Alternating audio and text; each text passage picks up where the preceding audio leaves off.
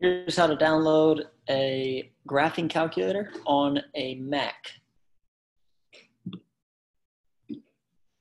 First thing you'll have to do is go to Google and type in Wabbit, um, Wabbit Emu Mac download. Find the one, that says realm.net. I'm going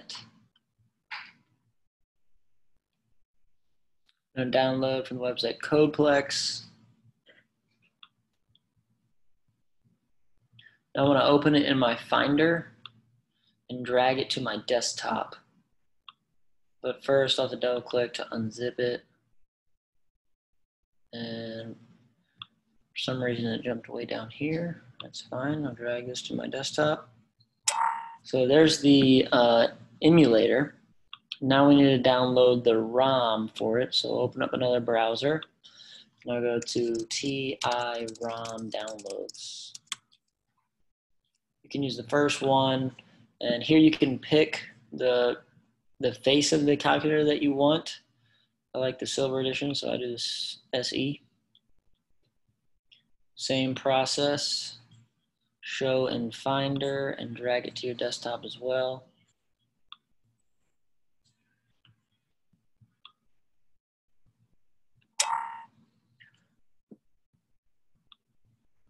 Okay, so now I've had this on my computer, so it may work for me the first time.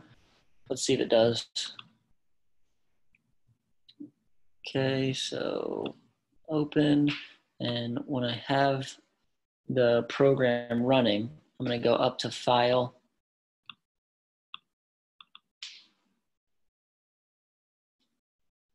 should say Wabbitemu up here. I'm gonna go up to File, I'm gonna go to Open, then I'm gonna find that ROM that I downloaded on my desktop, which is right here.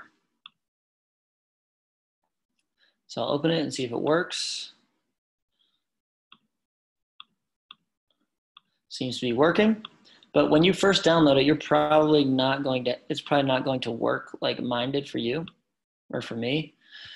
It could give you two issues. The first issue is when you try and open it, it's not going to allow you to open the calculator. It'll say something along the lines of, um, this is an unidentified app. If that's the case, then you need to go to your uh, system preferences and then go to security and privacy.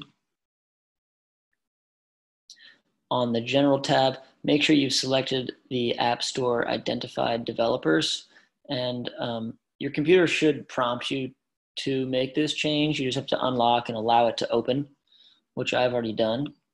The other issue you could have when you open it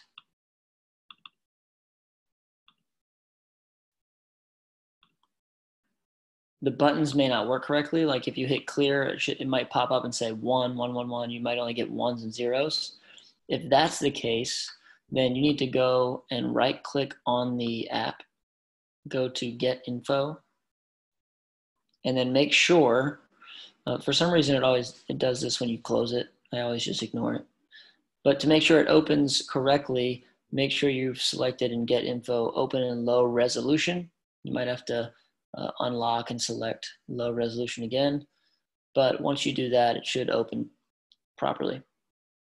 Um, but every time you open it you have to make sure you've selected Emu and then you have to go up and file open recent or open and find the ROM each time you open it. There might be an easier way to do that, but that's the way that I know how to do it. And there you go, you have a calculator.